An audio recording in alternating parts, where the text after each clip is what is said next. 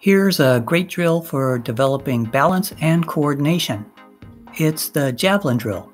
In javelin drill, you lift up your inside ski and then turn the outside ski underneath that lifted ski. It's really important to develop the coordination to let your legs turn underneath a calm and stable upper body.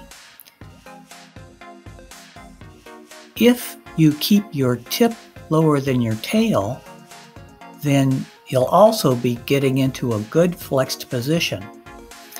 That coordination of letting the upper body be calm and stable while the legs turn underneath is important for all turns, especially for short radius turns. The javelin drill. Great drill for balance and coordination.